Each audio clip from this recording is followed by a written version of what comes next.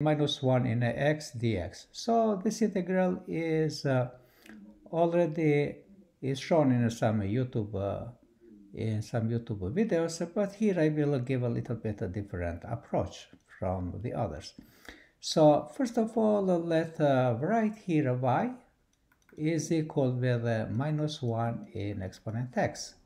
Let lnize both sides. If we lnize, then we have a ln y is going to be equal with the ln minus 1 in exponent x. Now if we take a, if we lnize both sides, e in a ln y is going to be equal with the e in a ln, let me say here is ln, minus 1 in x. Now by using the properties of uh, the logs, natural log. So we can write this exponent here, it can come in the front. Same thing is happening, this y is going to be in the front here. So y is going to be e in a ln is equal with the e in the x ln minus 1. And now e in ln is 1 and 1 times y is equal to y. So we can write y is equal to the ex ln minus 1.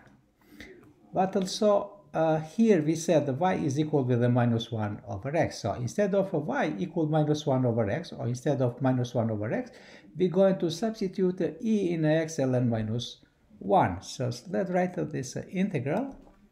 Now is integral is uh, e in x ln minus 1 times dx. But now this x ln minus 1 we're going to substitute. Let us substitute here. So x ln of minus 1 is equal with u. Let us, let us differentiate both sides. When we differentiate, we are going to get a differential uh, derivative of x is a dx. So is uh, ln minus 1 dx is equal with du. Because now we wanted to substitute with du this dx, but I have ln minus 1. So I am dividing by ln minus 1 both sides, and dx is going to be du divided by ln minus 1. And now instead of dx, I'm going to substitute this uh, expression here. And what do I have now?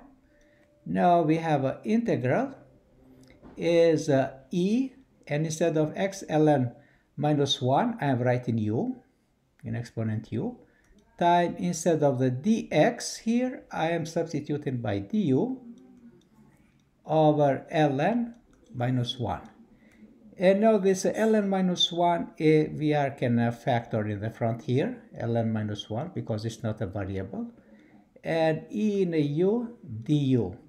E in a u du is going to be eu. So everything here is 1 over ln minus 1 time eu but now we are going to, to uh, return those uh, substitution.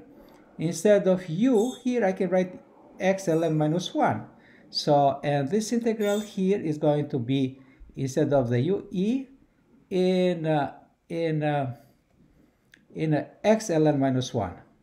x ln minus 1 divided by ln minus 1 here. And now Instead of this expression, I can write uh, n is a plus c, plus the primitive c. But now instead of this, of, of this expression, I can write uh, y is equal minus 1 over x. So this is going to be uh, minus 1 in exponent x divided by ln minus 1. Again, uh, we can uh, substitute, we know this uh, famous Euler equation. That is, just let me write it a different color. E in IP uh, minus 1 is equal to 0. This implies a minus 1 is equal to the is equal to the E in exponent I pi. And instead of minus 1 here, so just let me write this uh, plus primitive c.